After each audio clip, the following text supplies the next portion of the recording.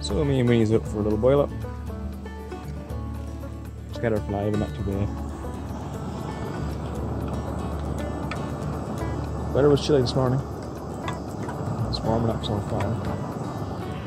It's a beautiful, beautiful sunny day. A bit of wind here too.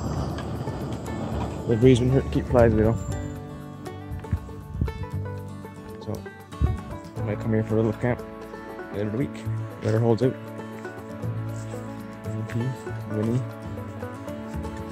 I'm gonna try and flip for a fish.